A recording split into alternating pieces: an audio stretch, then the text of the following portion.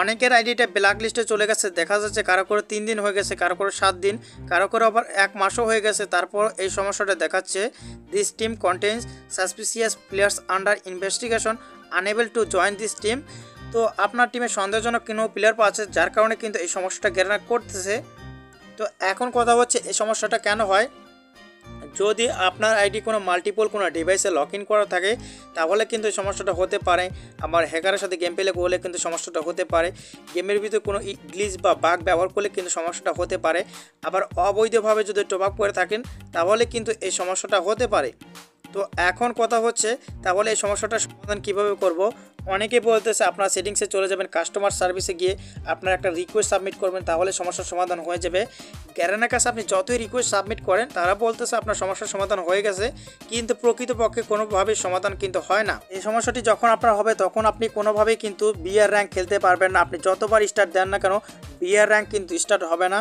তাছাড়া কিন্তু CS rank start হয়, কিন্তু সিএস র্যাঙ্কে যদি আপনি পাঁচটা ম্যাচ খেলেন, তার মধ্যে দুইটা ম্যাচই কিন্তু হ্যাকার পরে আপনার ক্লাসিক ম্যাচ তারপর lone wolf match custom match এগুলো কিন্তু স্টার্ট হয়। তো আপনি যদি র্যাঙ্ক ম্যাচ খেলেন, তাহলে কিন্তু আপনি সবচেয়ে বড় ভুল করবেন। যখন এই সমস্যা হবে, তখন আপনি র্যাঙ্ক ম্যাচ খেলবেন না। র্যাঙ্ক ম্যাচ খেললে কিন্তু ভুল করবেন। তো এখন কথা হচ্ছে, গ্যারানাতে কিন্তু চারটা নিয়মের কথা বলা হয়েছে। যখন আপনার আইডিটা ব্ল্যাক লিস্টে যাবে, চারটা নিয়ম যদি আপনি না মানেন, তাহলে কিন্তু আপনার আইডিটা ব্ল্যাক লিস্ট থেকে গ্যারানা ফ্রি ফায়ার কিন্তু সারিয়ে দিবে না। আপনার আইডিটা যদি ব্ল্যাক লিস্ট হয়ে থাকে, তাহলে কিন্তু এই চারটা নিয়ম ফলো করতে হবে।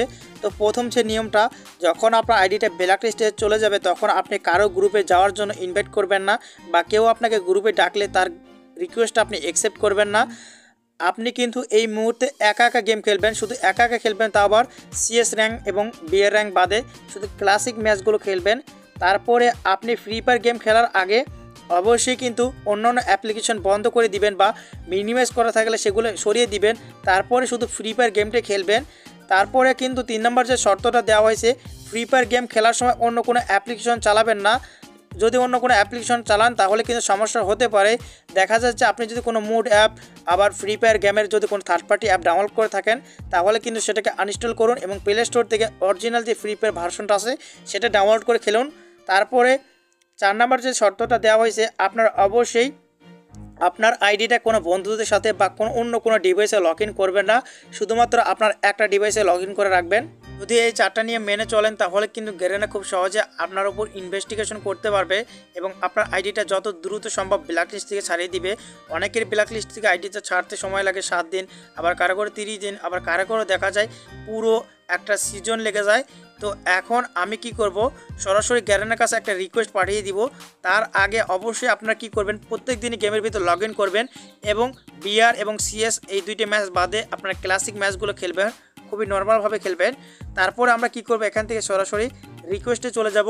রিকোয়েস্টে যাওয়ার জন্য এখান থেকে সেটিংসে চলে যাব, তারপরে কাস্টমার সার্ভিস এখানে চলে যাব। এখন এখানে সরাসরি আমরা নামের উপর ক্লিক করব, তারপর সাবমিট এ রিকোয়েস্ট এখানে ক্লিক করব। তারপর এখান থেকে থিডোটি ক্লিক করব এবং এখান থেকে অ্যাকাউন্ট রিলেটেড কনসার্ন এটা সিলেক্ট করব। তো এটা সিলেক্ট করার পর এখানে আমাদের প্লেয়ার আইডি নাম শো করবে। আমাদের এখানে ডিভাইসের নাম লিখতে হবে, আমরা এখানে লিখে দিচ্ছি পোকো এফ ওয়ান এটা লিখে দিলাম। তারপর এখানে অ্যান্ড্রয়েড ভার্সন লিখতে হবে। অ্যান্ড্রয়েড ভার্সন যেহেতু টেন আমরা এখানে টেন লিখে দিলাম। অ্যান্ড্রয়েড টেন তো আপনার ভার্সন যদি ইলেভেন হয়ে থাকেন তাহলে ইলেভেন লিখবেন টুয়েলভ হলে টুয়েলভ লিখবেন, তারপর থার্টিন হলে থার্টিন লিখবেন ফোরটিন হলে ফোরটিন লিখবেন। আর যদি আইওএস ব্যবহার করেন, তাহলে আইওএস লিখে দিবেন। তো এখান থেকে জাস্ট আপনার ক্লিক করবেন। অ্যাকাউন্ট রিলেটেড কনসার্ন এখানে ক্লিক করে এখান থেকে সিলেক্ট করবেন। আদার অ্যাকাউন্ট ইস্যু এটা সিলেক্ট করবেন। তারপর প্রাইভেসি পলিসি টিক চিহ্ন দিয়ে দিবেন। এখানে আপনাকে ডেসক্রিপশন লিখতে হবে মানে বর্ণনা করতে হবে কি কারণে এখানে আপনি রিকোয়েস্টটা পাঠাচ্ছেন। তো আমি এখানে একটা বর্ণনা লিখে রাখছি ইংলিশে, সেটা কিন্তু এখানে লিখে রাখছি, দেখতে পারতেছেন? এটা কিন্তু আমি গেরেনের কাছে পাঠিয়ে দিব, আর এটা আপনার স্ক্রিনশট দিয়ে নিন, অথবা আপনার লিখে নিন বা নোট করে নিন।